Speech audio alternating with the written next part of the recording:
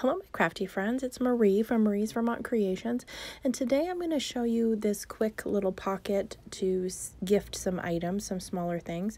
And I am using the Sweetest stamp set from Simon Says Stamp. I stamped out the sentiment Happy Valentine's Day um, using some Kitsch Flamingo Distress Oxide ink. And so there's no glue for this project. You take a six by six piece of pattern paper and fold it corner to corner and give it a good crease. I'm going to use my bone folder to ensure that I have good, good score lines. And then once I have that really good increased, because this is a little bit of a thicker pattern paper. Um, the second one I show you is really thin cardstock. You take one point and fold it all the way back and again crease that really well and then you're going to lift that up and take each corner and line it up underneath that score line and just give it a good press. Um, and so you can use these for all sorts of things. A few options I will show you in just a second.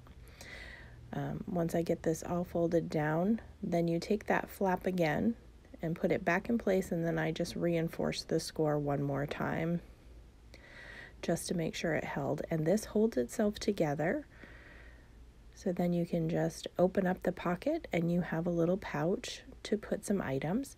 So I originally made these to hold tea. I was doing um, an advanced directive drive at work one day and I made them and put all sorts of tea in them. But they also fit the packages for sparkle blends. So if you have some crafty friends that you want to have a cute way to gift them some great embellishments, or uh, you could, these Dove Heart chocolates, you can also fit quite a few in there. And that's what I was making them for. I'm going to take the sentiment that I've stamped out, have some double-sided adhesive on the back, I'm going to peel off the backing and just adhere that down. So you have a quick way. Um, you can customize this with any pattern paper that you have. It's a great pattern paper buster um, for those, you know, that are hoarding a collection. You can also do them ahead. They store pretty flat, so they're easy to have on hand just to have ready to go.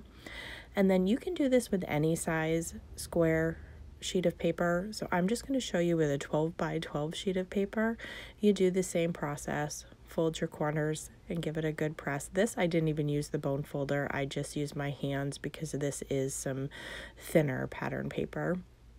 And then pull that center point to the center and crease that and then fold in your two corners